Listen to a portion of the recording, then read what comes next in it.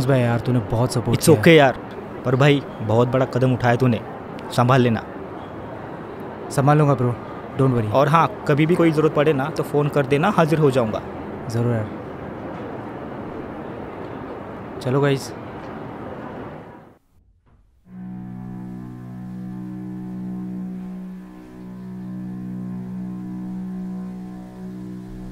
ये सब क्या है निखिल? कौन है ये लड़की?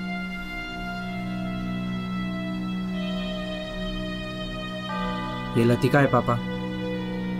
मेरी पत्नी। पत्नी? क्या तुमने शादी कर ली? और हमें बताया तक नहीं? पहले पता तो शायद आप शायद क्या? शायद आप मुझे शादी करने नहीं देते।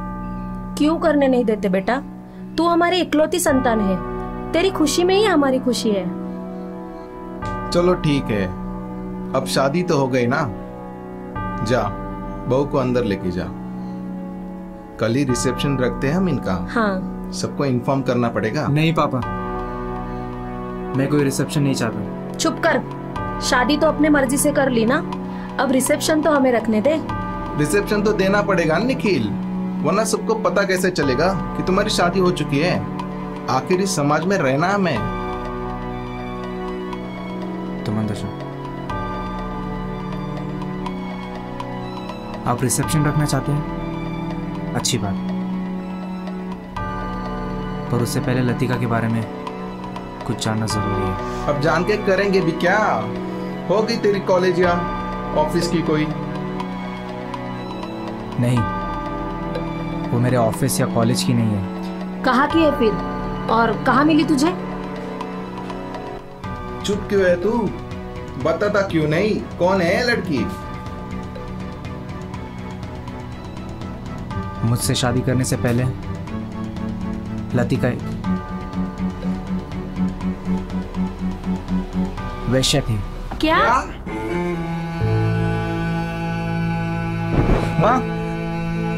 हाथ मत लगा मुझे।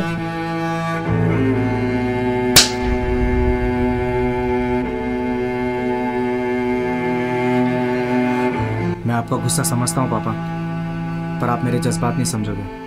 मैं नहीं समझूँगा।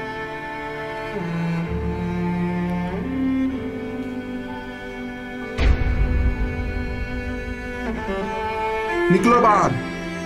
और दोबारा यहाँ वापस मत आना। मुझे पता था आप ऐसे ही बोलोगे। और वैसे भी मैं यहाँ रहने नहीं आया था। इसी को आपका आशीर्वाद चाहिए था। मिल गया आशीर्वाद? चलो अब। कुछ काला जादू कर दिया इस चुड़ैल ने मेरे बेटे पे। वरना वेश्या से कौन शादी करता है? आपको जो समझना है ना समझो। ये पहले क्या थी कैसी थी मुझे उससे कोई फ़र्क नहीं पड़ता। है अभी मेरी पत्नी है। एक रांडी मिली थी तुझे शादी करने के लिए पूरी दुनिया में? जबान संभाल कर बात कीजिए पापा। आप मेरी पत्नी के बारे में बात कर रहे हैं। किस किस की जबान संभालेगा तू हाँ? जो सच है वो है। तू कितनी भी कोशिश कर ले लेकिन एक रांड अपना धंधा कभी नहीं छोड़ती। चलो अब। बहुत पछताएगा तू। ये लड़की तुझे कहीं का नहीं छोड़ेगी।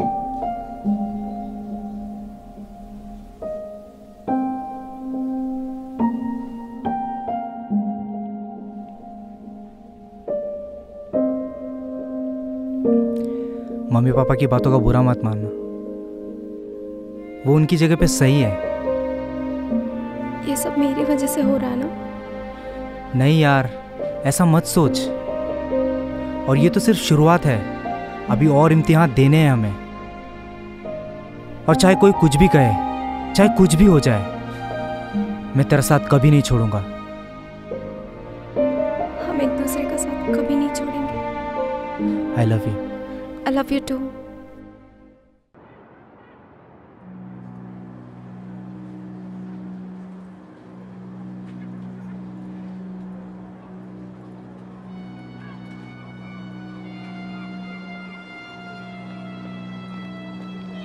नमस्ते चाचा जी। ये क्या सुन रहा हूँ मैं निखिल? क्या हुआ चाचा जी? क्या सुन रहे? भाई साहब का फ़ोन आया था मुझे।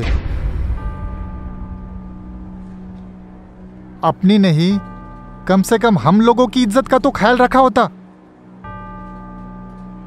देखिए चाचा जी मुझे जो करना था मैं वो कर चुका हूँ। आपको जो करना है वो आप कीजिए। करेंगे और ज़रूर करेंगे। खानदान की इज़्ज़त यूँ मिट्टी में नहीं मिलने देंगे। आपने खुद ने दो शादियाँ की हैं। वो चलता है। तू भी कर। अरे दो नहीं चार चार कर। लेकिन बाजारू लड़की से नहीं। बाजारू यू नो वॉट चाचा जी? आप जैसे लोग ही इन लड़कियों को बाजारू बनाते हैं। मेरे जैसे लोग? कहना क्या चाहता है तू? मेरा मुँह मत खुलवाइए। बहुत बार देखा है मैंने आपको वहाँ। वहा? वहा कहा? वही जिसे आप बाज़ार कहते हैं। देखो बेटा निखिल बाज़ार की गंदगी बाज़ार में ही अच्छी लगती है। उसे घर नहीं लाया करते। देखो चाचा जी वो लड़की अब मेरी पत्नी है। बेटा उसे पत्नी नहीं कहते। जब मन भर जाता है तो वही बाज़ार में छोड़ आया करते हैं। अच्छा चाचा जी अगर मैं कहूँ कि आप चाची जी को वहाँ छोड़ के आइए तो आएँगे क्या? बदतमीज! रिश्ते का लिहाज कर रहा हूँ जाइए यहाँ से। चाहता हूँ। चाहता हूँ लेकिन देखता हूँ उसके साथ तू कैसे रहता है।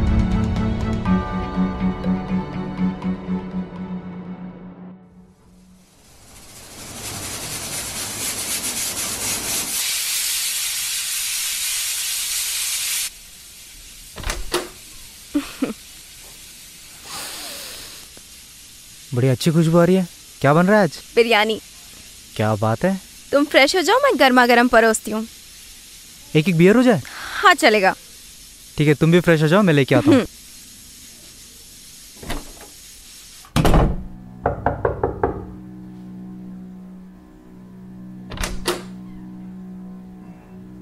जी? निखिल को बुलाओ। आप कौन? मैं इस फ्लैट का ओनर हूँ। ओ आइए ना। अंदर आइए वो बाहर गए बस आते ही होंगे। आप बैठिए मैं पानी लेकर आती हूँ।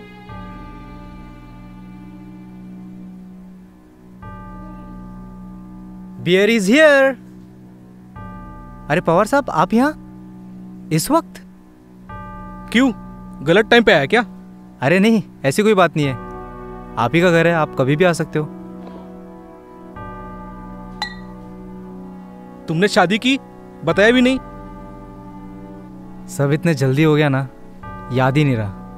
हम्म पता है मुझे। फ़ोन आया था तुम्हारे चाचा का। क्या कहा उन्होंने? देखो निखिल मुझे तुम्हारे पर्सनल लाइफ में कोई इंटरेस्ट नहीं है। पर मुझे कल के कल ये फ्लैट खाली होना चाहिए। पर क्यों? तुम नहीं जानते क्यों? पर आप ऐसा नहीं कर सकते। मैंने आपको पचास हज़ार डिपॉजिट और ग्यारह महीने का एग्रीमेंट किया है। ये रहा तुम्हारा चेक। और मेरी शराफत को तुम मेरी कमज़ोरी मत समझना। चाहो तो दो मिनट में तुम्हारा सारा सामान बाहर फेंक सकता हूँ। कोई एग्रीमेंट मेरा कुछ नहीं उखाड़ सकता। समझ क्या रखा है? घर है मेरा कोई रंडी खाना नहीं है जो धंधा चालू करके रखा है यहाँ पे। जबान संभाल कर बात कीजिए पवार साहब। कल सुबह तक का टाइम देता हूँ। मुझे ये फ्लैट खाली चाहिए। नहीं तो कुछ संभलने के काबिल नहीं रहोगे।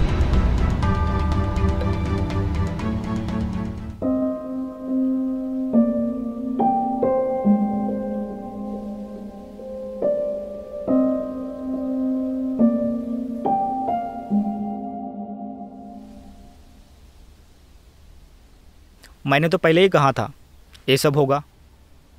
हम्म। तो अब आगे क्या सोचा है? पता नहीं यार। एक दो दिन रहने दें यहाँ पे। करता हूँ कुछ इंतज़ाम। मेरे घर चले क्या? नहीं यार। तेरी माँ को इसके बारे में पता नहीं चलना चाहिए।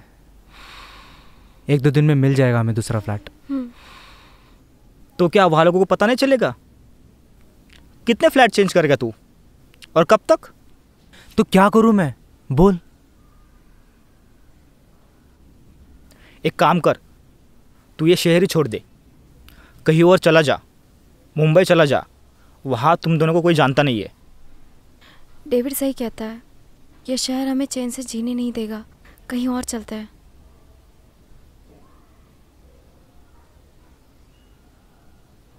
क्या सोच रहा है?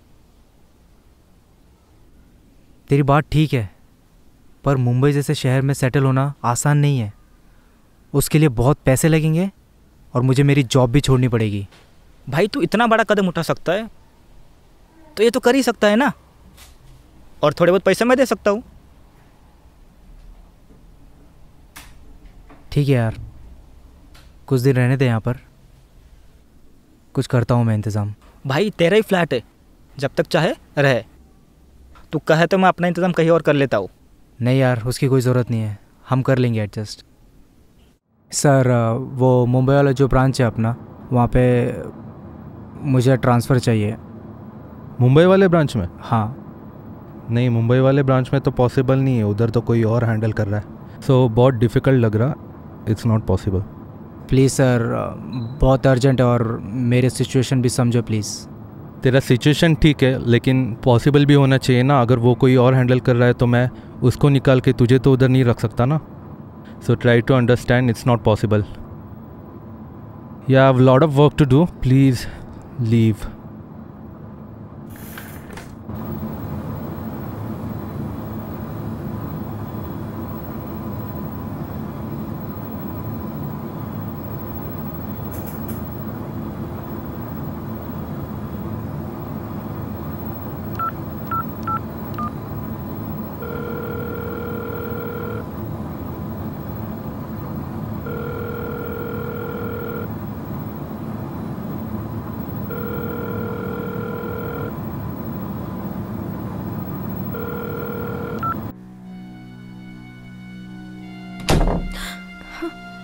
अरे डेविड नॉक तो करने का था ना?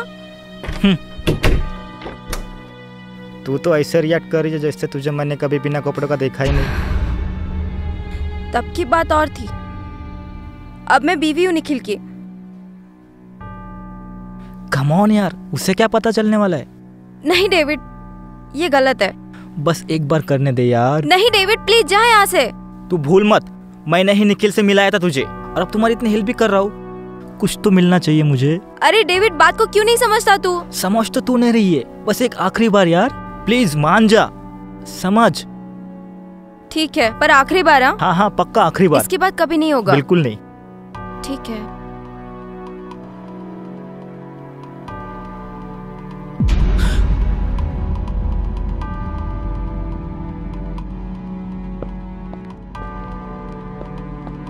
तुम मुंबई चले जाने के बाद तुम्हारा एक बहुत बड़ा घर होगा जिसमें एक गार्डन होगा जहाँ पे तेरे पाँच छह बच्चे एक साथ खेलेंगे। अरे निखिल कब आया तू? जाओ अपना सामान पैक करो। हम लोग निकल रहे हैं यहाँ से। अभी? हाँ क्यों? तुझे कुछ प्रॉब्लम है? हो गया फ्लैट का इंतज़ाम? हो जाएगा भाई। तू टेंशन मत ले। सुनाई नहीं दिया? सामान लेके आओ।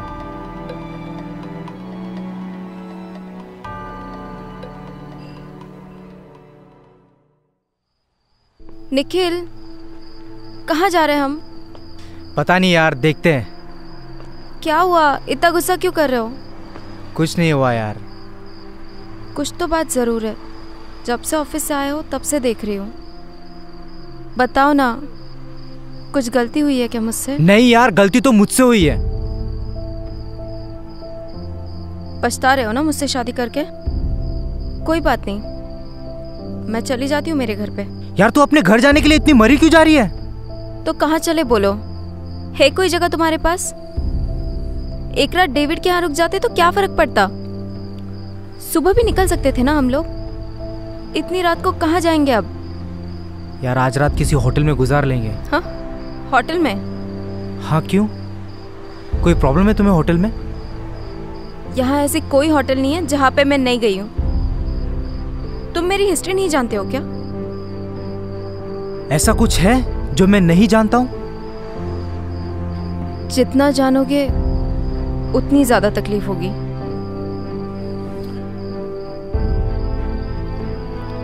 डेविड को कब से जानती हो तुम?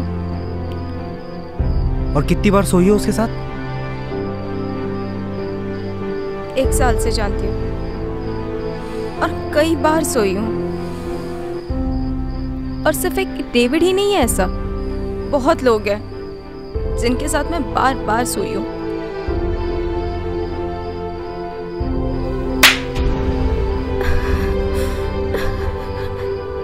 माँ ने सही कहा था। इंसान थोड़े समय के लिए भले ही भगवान बन जाए। और होता तो आखिर इंसान ही तो है। तो जा अपने माँ के पास।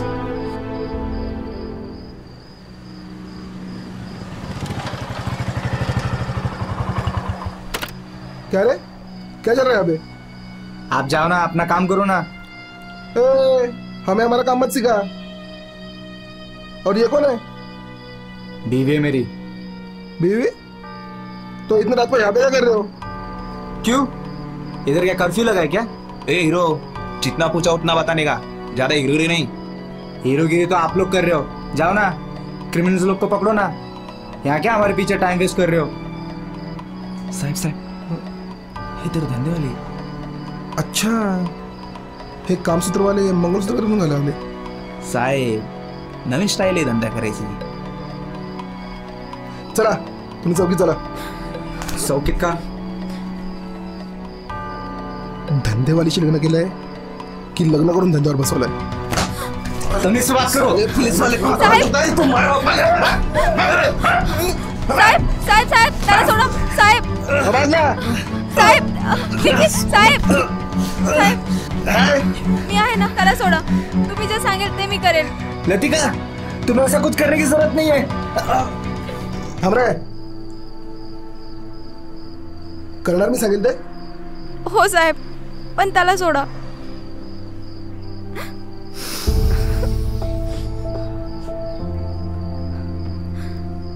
चल बस गाडीवर. छोड़ मेरी बीवी को. चल बस पटकन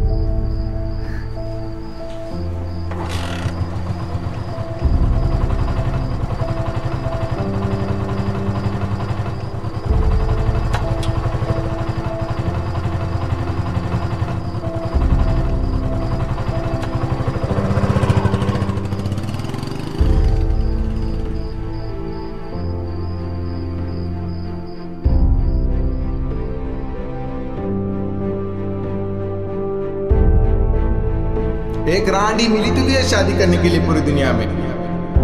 बाज़ार की गंदगी बाज़ार में ही अच्छी लगती है। उसे घर नहीं लाया करते। घर है मेरा कोई रंडी खाना नहीं है जो धंधा चालू करके रखा है यहाँ पे। धंदेवालीशी लग्न केलंय की लग्न करून धंद्यावर बसवलंय तू कितनी भी कोशिश कर ले लेकिन एक रांड अपना धंधा कभी नहीं छोड़ती।